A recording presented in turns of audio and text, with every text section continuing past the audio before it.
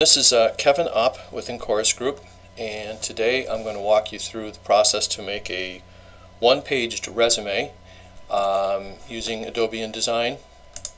And as I launch this, I'm using uh, 2022, uh, but what I'm going to show you works in some of the earlier versions as well. So let's start by showing you what we're going to build. Here's one I built a couple days ago.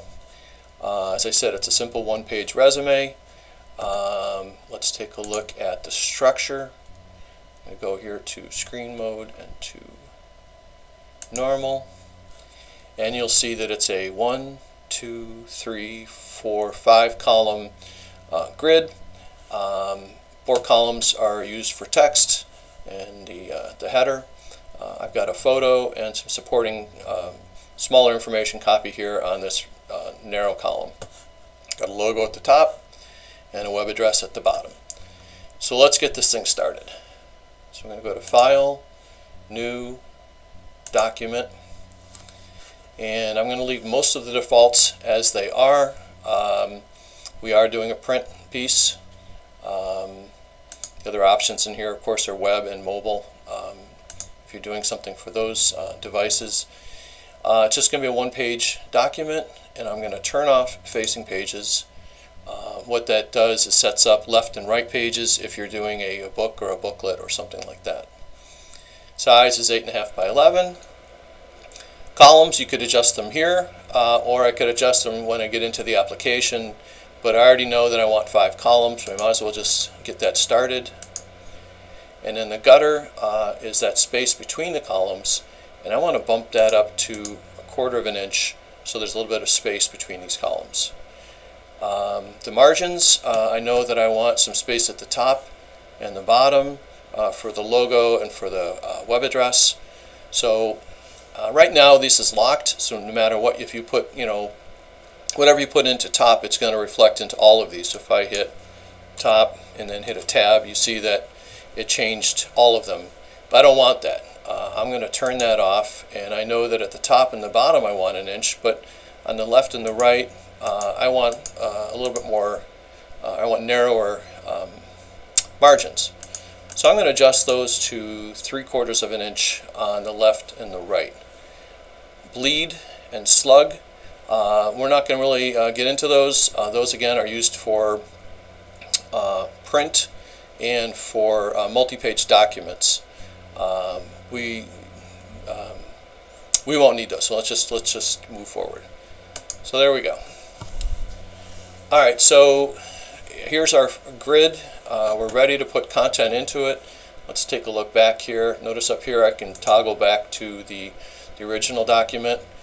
Um, let's start by bringing the logo up into that upper uh, right corner. Uh, this one happens to be, notice here at our transform, uh, 1.72 inches wide just so that we can replicate this on our, our document. Let's go back here. So at this point, I don't really need to worry about that. I'm going to come over here to this tool here, which is the rectangular frame tool. Uh, and this is the um, device allows us to bring in graphics. I'm going to create a big box like this. Um, the interesting thing about uh, InDesign versus Illustrator and uh, Photoshop is that InDesign is a tool that brings things together. So you, you import things into this document.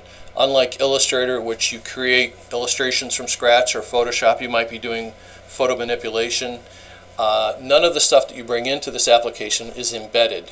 Um, so you always have to maintain, you have to keep an eye in terms of where your links are that you, uh, when you're bringing things into it. And I'll go through how to package this when we're all said and done at the end. Um, all right, so I've got a, uh, a box created and I want to go up here to File, uh, Place, and this is going to bring me to a, um, a folder that I created uh, before this where I put all my resources. So I've got my text files, uh, I've got uh, some graphic files, and I'm going to select the Encorus Group horizontal logo. Okay. So notice that it came in and it's much larger than that box that I've um, that I've built. uh, we have a couple of options to get the content to fit. The first and the easiest is to go up under Object, Fitting, Fitting, Fit Content Proportionally. And notice what it did is it resized that um, artwork into that box. So that's one way to do it. If I was to undo this, the alternative would be to hit this direct selection tool, click on the artwork, and notice that the bounding box for the artwork, again, is much larger than our window. So I'm going to hold a shift key and I'm going to grab uh, one of the corners. And the reason I'm holding the shift key is to maintain the proportion of that logo. And I'm going to squeeze it like that. And I'm going to squeeze it like that and you can move it inside that box with your up and down and your left arrow keys so that looks pretty good I'm going to click back off I'm going to zoom in here with the uh, magnifying glass so we can look a little closer up here. Um, now, remember when I said, you know, I looked at that measurement on the other, when we looked at this one, we said that box was 1.72. So let's try that here. Let's make this 1.72. So you notice it, it crunched it again, so we're going to just move this over. I'm holding the shift key to, to kind of stay uh, horizontal. And let's bring our logo into that window right there. And that looks pretty good. Okay, so I'm clicking out. Uh, I like to, you know, make sure that you have a nice, clean, cleanly organized page. So I see all this extra space on the top and the bottom, and that kind of drives me nuts. So I'm putting my cursor at the top here and I'm just going to close that up and I'm going to move that there. And now uh, I want to get this into position so I'm going to click on that uh, box. Again I'm holding the shift key and my mouse and I'm going to push it up there and what that does when you hold the shift key it only goes up and down or it only goes left and right when you're holding the, the shift so it keeps it uh, aligned to where we had it before. Alright, so that looks pretty good. Let's go to, um, let's fit in page here. So there we go. So there's our logo. Let's see how, it's, it's pretty close to that one. Um, so next step, what we want to do is I'm going to introduce the, uh, the web address down here. So um, we used the box selection before to bring a graphic in. Now we're going to use this text tool, this type tool, and I'm going to create a text box down here. And I'm just going to type in the web address. And I'm going to um, select all. And first thing I want to do is I want to get this thing oriented so that it's uh, going to line up with this right column. So come over here to paragraph. Notice I have an icon for flush left, for centered, for flush right. Click that one and notice how it went to the right. If I hit centered, centered, it's left, centered, and right. Okay. So position-wise, I'm good. We're going to zoom in again with our magnifying glass. And I'm going to click on my selection tool. And I want to make sure that this text aligns with the edge of the column. So what I just did is I was holding my mouse and I moved it a little bit to the left. Again, now I'm holding the shift key. Watch what happens. I'm going to go directly down. All right. Now I'm going to format this text so that it looks like what we've got here. And if I was to highlight this text, it's telling me that that is Nexa black. Um, it is 10 point set on 12 points of leading. Nexa is our, our corporate uh, font here at, in Chorus. So let's go back over to entitled. Let's highlight our text. And so this shows a default which is Gotham, which I don't want. So I'm going to click on uh, the arrow and right there at the top of the list uh, you may have to scroll through um, all your fonts to find what you're looking for but uh, Nexa Black is what I want. I'm going to click here and then this first um, box is your point size and I want 10 so I'm going to type in 10 and because there's not multiple lines of text, the 15 is irrelevant. It, I, you know, I will make it 12, just again keeping things clean. Um, as we scroll through these boxes, just an explanation. This is a kerning tool, so this uh, allows you to control the, the distance between um, letters. By putting the cursor in, you can control the, the, the, the amount of space between them. And then the second one over here, this controls the amount of space between letters and words um, in larger paragraphs. And this will come into play in a few minutes, and I'll show you how this is a very um, helpful tool. Um, you can you can screw around with the proportions of the letter forms by adjusting the height and adjusting the width. But as a uh, guy who's been teaching typography for uh, 35 years, please don't do that. Um, type designers have spent a lot of time crafting these letter forms to be perfect, and we don't want to, uh, you know, screw around with the proportions by doing crazy things like this or crazy things like that. It's just it's just wrong. So we're not going to do that. I'm going to return that to 100% and 100% there. Okay, so it looks beautiful. So let's go back to uh, fit page and window. All right, so there we are. We've got the logo, we've got the, the web address. Um, let's bring in now our, our text for the, um, uh, for the resume. Let's just take another look at it. So what I did here is I'm going to bring this in as a Word doc, but I separated the what I'm going to call the header, uh, which is going to have a little bit of a different typographic treatment than this um, body copy that's down here.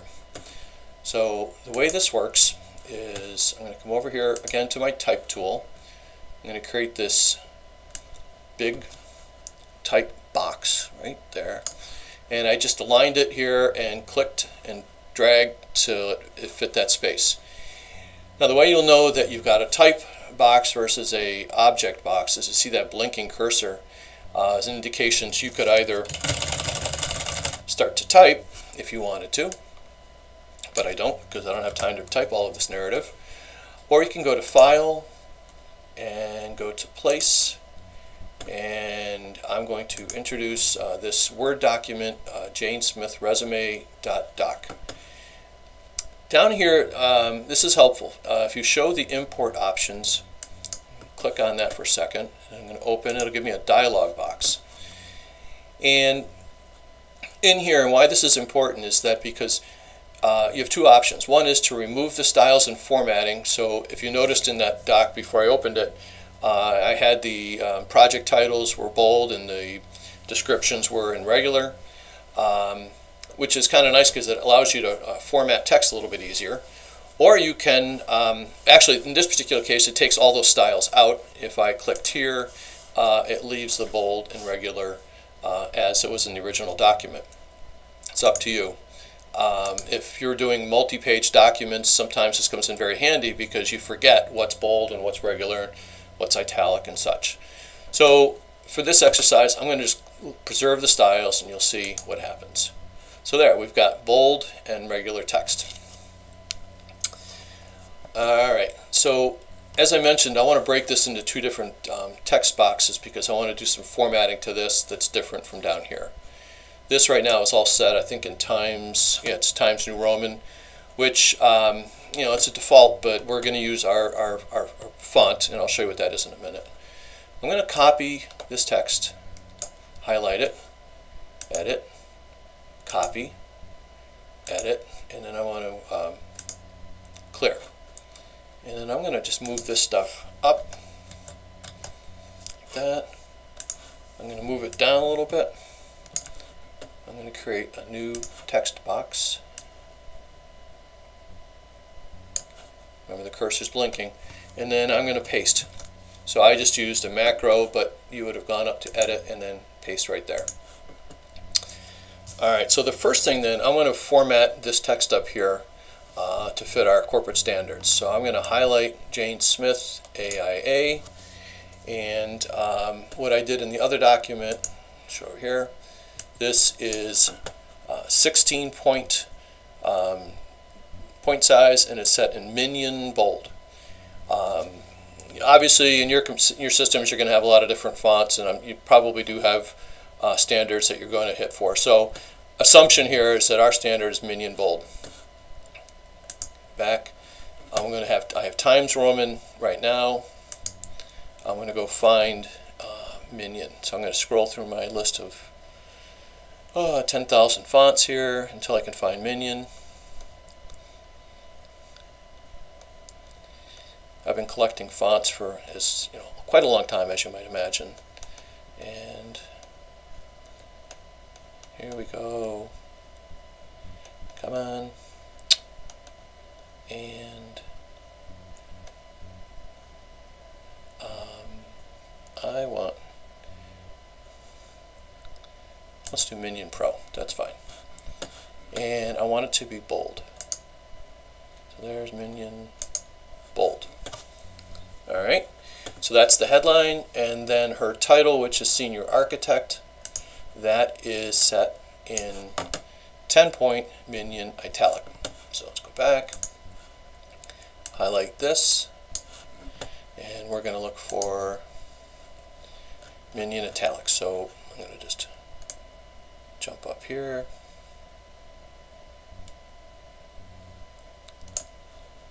There's minion.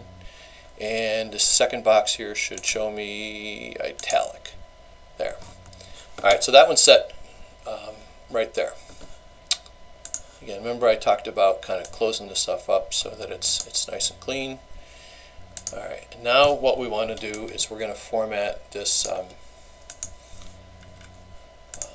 content down here.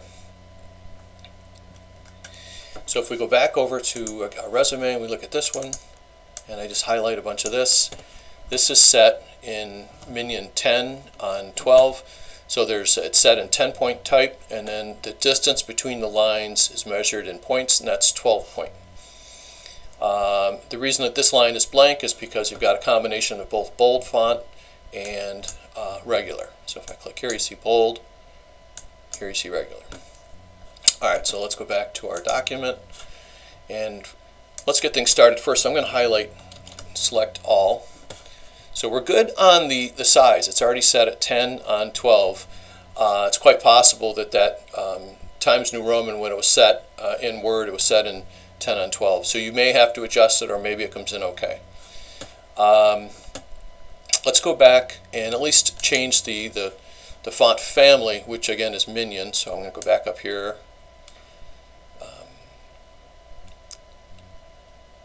Find minion. It's right there. All right, so what happened now is everything is minion. Uh, and, and it defaulted to minion bold. So what's nice is that by changing the font family, it also made the changes for you here as well. It makes our life a little bit easier. So we don't have to go through and highlight and change each one of them. Um, now, one of the issues we run into is that uh, this resume uh, runs over one page.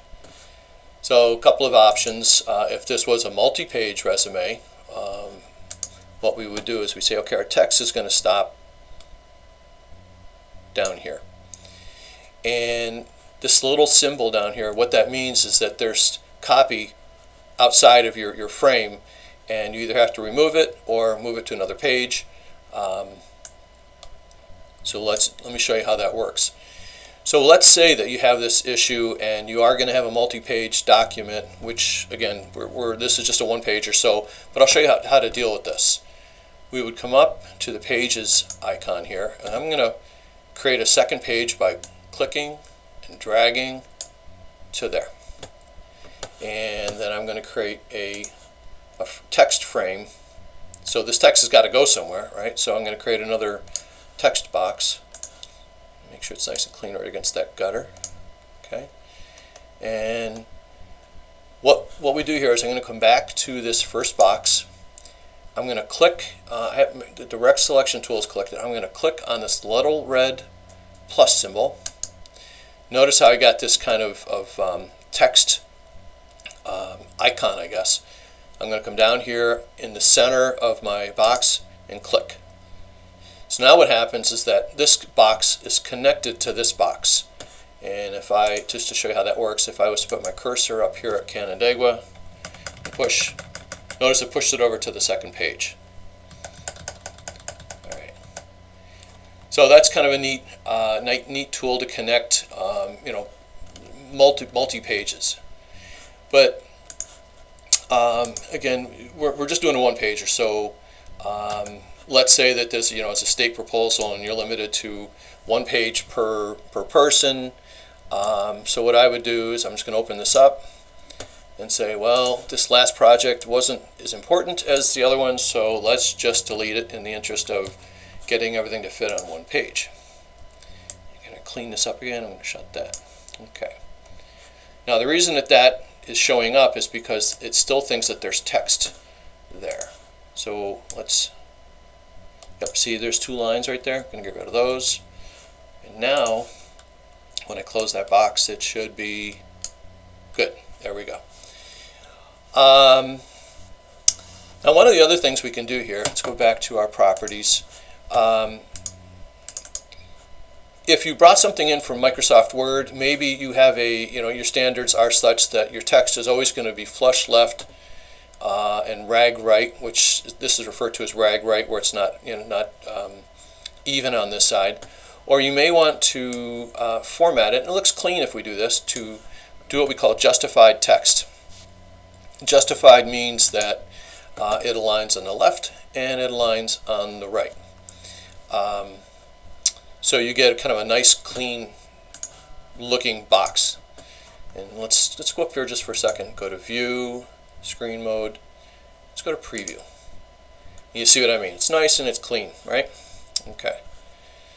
So let's go back to normal.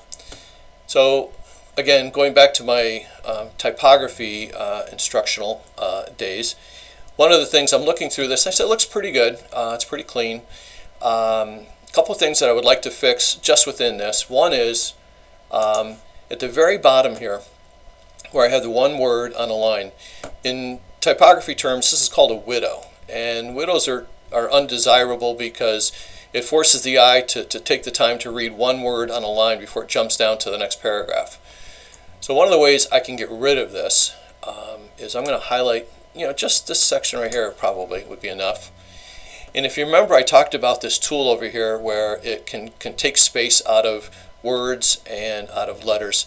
And I'm going to do something is to go to minus 5 and this is based on a typographic increment. I won't get into the details of it, but you see how just that minus 5 was enough to bring that one little word up onto the line and it looks cleaner now um, instead of having that little straggler.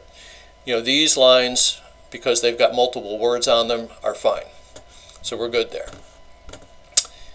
All right, now the next trick I want to show you is um, what happens is that there's a habit in, uh, in, in, in people when you work in Microsoft or when you work in Word is to put a double space um, before the start of every sentence. You know, in, in um, typing papers and things like that's great. But when you're doing publishing and you're doing desktop publishing, uh, it's it's it's unnecessary and it takes up uh, more space than you need. And again, when you're in a situation where you've got to get a lot of content onto a page because you have a page limitation, you'd be surprised how sometimes you don't need those extra spaces. How do we get rid of them? It's a real cool little tool here. I'm going to go up to Edit, Find Change, and right now it's empty. I'm going to hit in, you won't be able to see anything here, but it says find what. I'm going to hit bang, bang, which is, uh, I'm hitting the spacebar twice. And I'm going to change that to one, um, one space. If I come over here to change all, it found one, right? So it found one replacement and it took care of that, that space up there.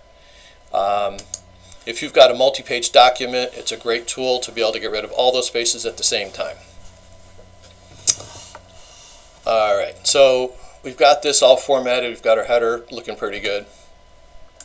Let's bring in our, our headshot. So I'm going to come over here. I'm going to hit that um, box tool again that allows us to bring in graphics. And I'm going to put my cursor in this upper left corner. I'm going to create a picture box. Notice it's a little too wide. That's going to drive me nuts. So I'm going to go back and put it right on the guide, right there. Uh, you know how we can make this easier is to zoom in on it, right? And we want things to be perfect, so I'm going to right there. All right, so now we have this active picture box. I'm going to go to File, Place, and Jane Smith headshot. There we go.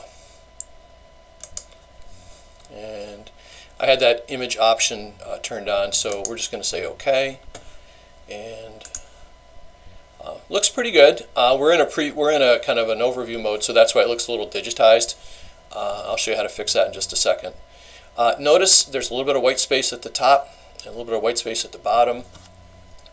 So I want to uh, make sure that this picture sits right at the very top of the margin. So I'm going to click and like before I decrease the size, now I want to make the size a little bit bigger. And that looks good. And just moved it up a little bit so that it, it um, goes right to the very top of our page.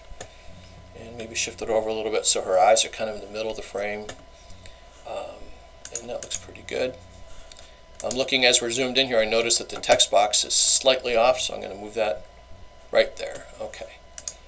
Let's um, fit page in window, and let's just take a quick peek, see how things are looking.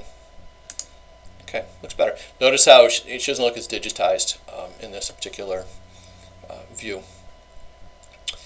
All right, uh, a couple other things we're going to add, which is kind of those, uh, the, you know, the stats that uh, they always ask for. Those are going to go here, and then I put a, I'll put a nice rule in here to kind of separate the two areas.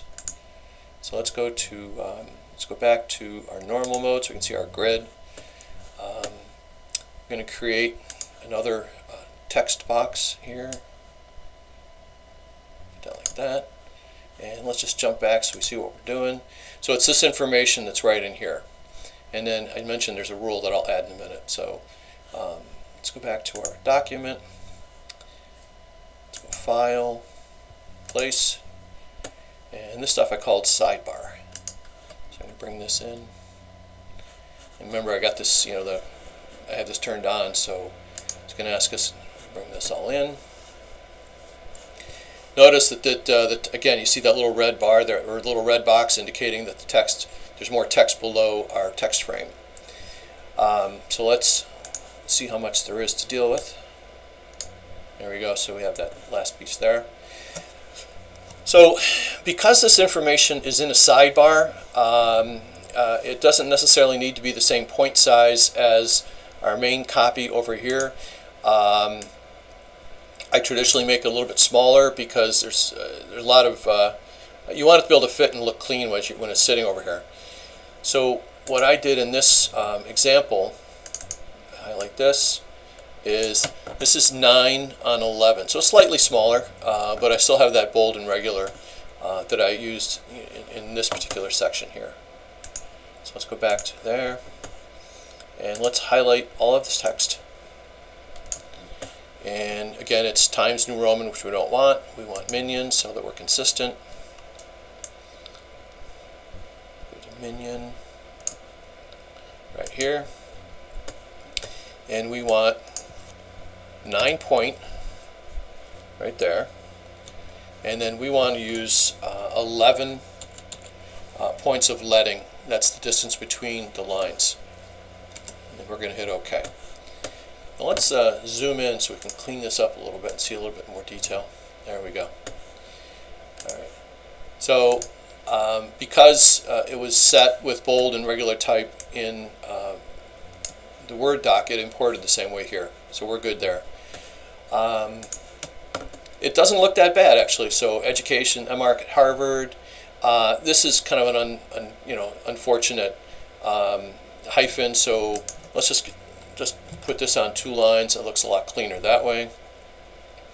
Um, do you need to say license number or can we you know take some liberty and do things like that which again cleans things up makes it less lines? Um, so that looks pretty good. Let's move this here up here. And this is you know standard stuff that you're going to have to be asked for on, resumes. We do a lot of federal work so they always need to know the citizenship and, um, and such. So that looks pretty good there Let's go back to view, um, fit in window. Okay, we're getting there. So this is looking pretty good shape. Again, I'm going to clean this up and move here. The last thing I want to do is I like to separate kind of this information from this information and that thin rule creates kind of a nice visual barrier between um, the left and the right. So how would we do that? I'm going to come over here to my rule tool, the line tool they call it. I'm going to click and I'm going to put my cursor at the very top. I'm going to click and I'm going to hold. And I'm going to hold the shift key because what this does is it keeps the orientation um, going directly south like this. If I let go, ooh, I can go back and forth like this, but I don't want that. I want to keep it uh, nice and straight. And so now I've got a, a rule that's drawn here, but it has um, has no weight, and has no color. So over here on this tool, notice how these uh, palettes also appear based on what you select over here, which is kind of nice. You don't have to go hunting for them. So the stroke, um, you know, one is a little heavy. Uh, you can you can start with one and then click here and go like a half a point. I, I like things a little on the lighter side. It's a little it's, it's a little bit more elegant. Doesn't look as horsey uh, compared to the weight of the type in here. Uh, color is set to black, which I think is fine. So I'm going to click off and let's go back to our view uh, preview mode. And that looks pretty good. Um, you know, uh, let's go back and look at our original. And let's look at that. Rotate spread, preview. Okay. So that's what we started, that's what we were shooting for, and I think we're pretty close. Um, one of the things I probably should have done earlier, and, and you probably want to be in the habit of doing this, is to make sure you save your document. So I'm going to go up here and go File, Save As. Uh, call it Jane One Pager. You guys have uh, all have your file um, naming nomenclature. Uh, and I'm going to come over here to the desktop and I've got uh, InDesign demo and I'll just save it out here um, outside of my, my demo. Save. Okay. So now we've got this nice looking resume. What do we do with it? Um, we have a couple of options. The first is to, uh, to save a PDF. How would I do that? I'm going to go to File, uh, Adobe PDF Presets, uh, and here's your options typically with uh, a page like this, it's a one pager with just a photo and some text. Even as a high quality print, it's not going to be a super um, large file. Uh, you're always concerned about file size in terms of emailing. Um, you could do smallest file size. It's not going to have much of an effect. It might make the photo slightly grainier. Um, so you can do some experimenting with that. But for, for this, I'm just going to say high quality print. Uh, notice it uses the same file name up here because I've got this clicked. Uh, and then I'm going to hit save. And I get this dialog box. And in my particular case, I always have this click that says view the PDF after exporting. So once I hit export, it's going to open up and I can, I can do an immediate proof to make sure it's what I want um, in terms of the, uh, the document. So I'm going to hit export and there we go. We get exactly what um, we uh, what we want. So I'm going to click out of that. So that's that's saved in that same folder. Um, the other one I wanted to show you with is File. You may on occasion get you know another firm call and say, hey, can you package your document and send it to us? Uh, and what that allows them to do is to take all your materials, potentially reformat it to their uh, to their standards. Um, it does happen on occasion. The way you would do this is go to File, Package. You'll get this dialog box that's going to ask you, um, you know, it's going to tell you how many, you know, links. In this particular case, uh, there's two links, which would be, of course, the logo and the photo. Um, it's using RGB color space. If you're not doing print, don't worry about it. Um, and then the next one down is going to tell you all the fonts that you used and your links and what is you know what the links are. Um, so these are all the things that it would package for you. And I would hit package and you're going to get this, uh, you're going to ask where you want to put it. So I'm going to put it in my um, InDesign demo folder here, right there. Uh, and here's your, your options. You can either, you, you don't have to send uh, the fonts to someone if you don't want to. If you're if they're particularly licensed uh, and you can't do that, you unclick here. But you can send them the graphics and the files and all that kind of stuff. And it will include a PDF. It'll make another one for you in that folder. hit package, and then you get this warning again. I because I have the fonts um, clicked, it's just telling you that you know there's copyrights associated with the fonts, um, and you should be at least aware of the fact that you're you know you're trading them back and forth. You just hit OK. It will collect that document, and um, I go over here. Come on. Um, there's that Jane one pager folder, and everything we just collected is right there. Um, all right, one last little kind of uh, fun thing. Let's say that um, you are doing this as a dig as a PDF. Um, I'm going to highlight this.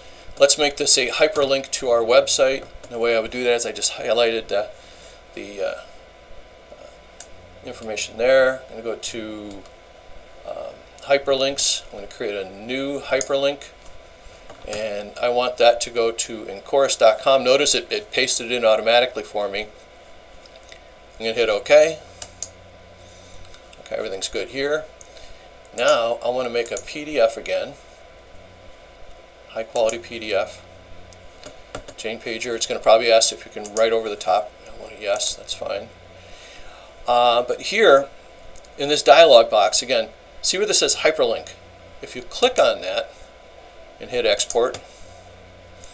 Notice what it did is put an underscore here and if I clicked on this it would take you to our uh, our website uh, but that would be shameful advertising on my part so I'm not going to click on that hyperlink. Um, Alright, I think I've covered everything on the one-page resume. So I'm going to end this on, uh, on this one and then I will start up again on the um, project page in just a moment.